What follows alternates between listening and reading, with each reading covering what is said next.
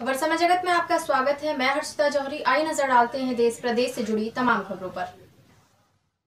खंडवा ज़िले में तीसरी बार कोहरे ने मचाया कोहराम, सड़कों पर वाहनों के हुए चक्के जाम। इस समय पूरे प्रदेश सहित खंडवा जिला भी ठंड और शीत लहर के साथ कोहरे के आगोश में समाया हुआ है। हम हमारे खबर समय जगत के लाखों दर्शकों को बता दें कि इस शीत ऋतु में खंडवा ज़िले में भी ठंड के साथ तीसरी बार पड़े कोहरे की वजह से वाहन चालकों को अपने वाहनों के पहियों को थामकर अलाव का सहारा लेकर रात सहित सुबह गुजारना पड़ रही है। वहीं खंडवा ज़िले के ग्रामीण क्षेत्रों सहित शहर के नागरिकों को भी अपने वाहनों को दिन में भी हेडलाइट की रोशनी में निकालना पड़ रहा है। देखिए, खंडवा ज़िले से खबर समय जगत की यह खास पेशकश। खबर समय जगत के लिए खंडवा से cameraman Bhawani Prasad Sharma, city reporter Manish Bhalrai के साथ ब्यूरो चीफ दीपक चावरे की रिपोर्ट। खबर समय जगत, एक संदेश पूरा देश।